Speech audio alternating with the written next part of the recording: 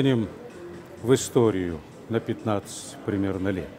Ведь мы идем по э, тому же пути, когда там э, межрегиональная демократическая группа, и когда она отработала, создается там демократическая Россия, потом наш дом Россия, выработался Единая Россия идет. Сегодня Единая Россия выдохлась уже все.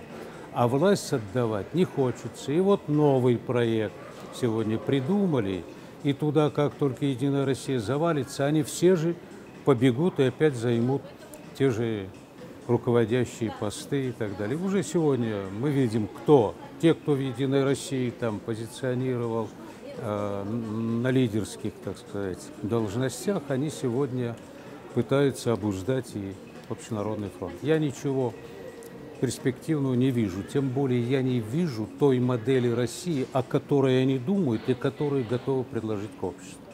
обществу.